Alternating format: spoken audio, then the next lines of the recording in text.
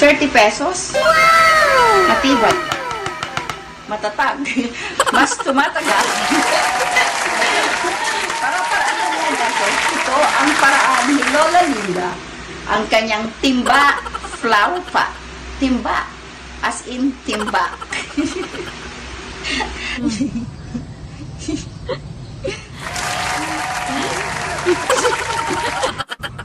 Hi! Mabuhay! Rosana Bididoko, 23 years old, from General Santos City, Mindanao! Guys, hi. Hello, guys! Panoorin nyo ang aming timba challenge ni Rosana sa araw na to at ang aking timbang paso. Tara-tara na! Let's go!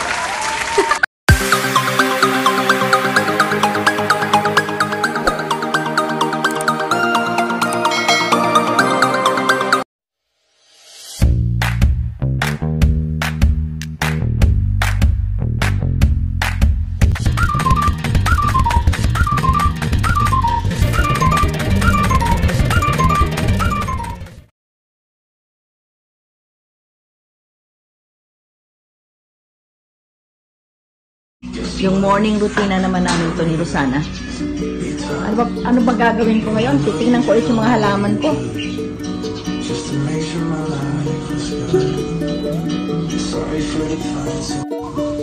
Hello, good morning mga kaibigan.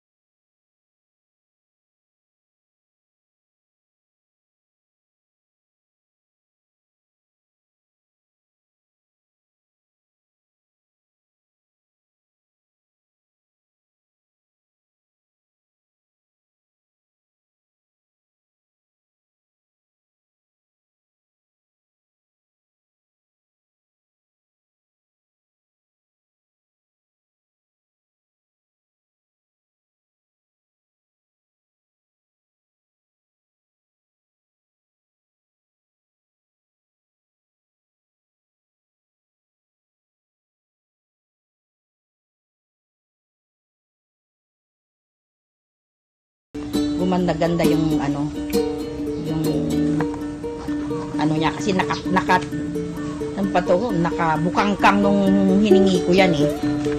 So, ganun din, para-para, tinal, tinalian ko siya ng barbecue stick o ganyan, no.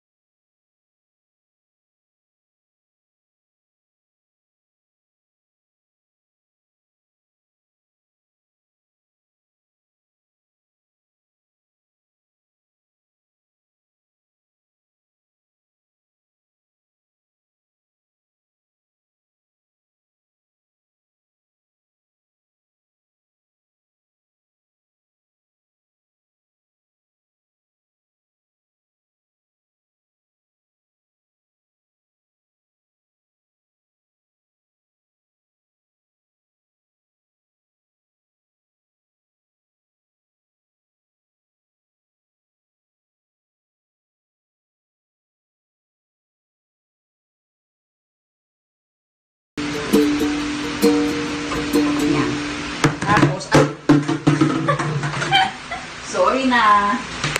Pa- Pumalpak si Lola. Tapos, ganito siya. Mano lang siya kasi mainit na mainit yung ginagamit. Salitan lang. Yan o.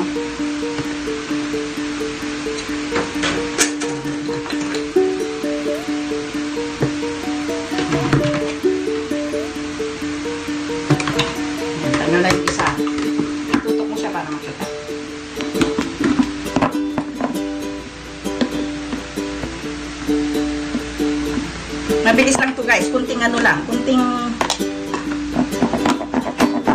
diskarte lang. Ulit ulit.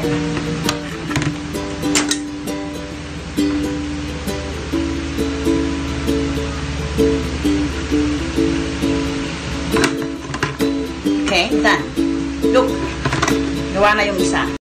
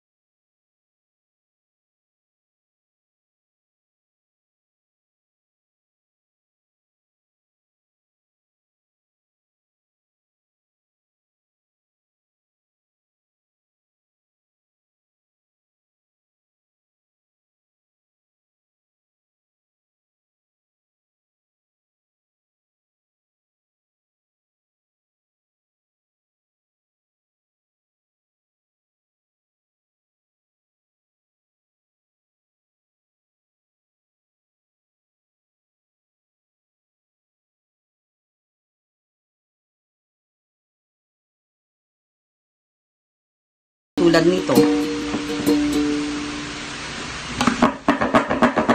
Ayan, Uusok siya. Dahil